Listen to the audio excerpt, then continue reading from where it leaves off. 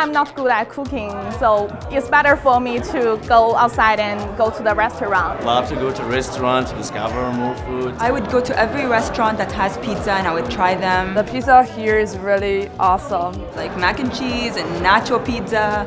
So and, and they're really good. Actually, I like every American food. We usually go to chicken fingers. Burgers, pizza. I like to eat burrito.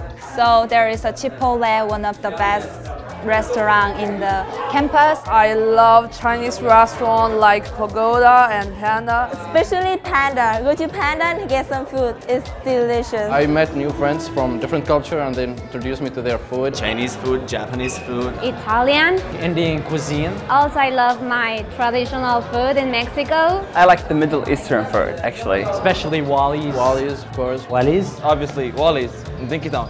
Rice and chicken and uh, chicken shawarma and hummus and falafel.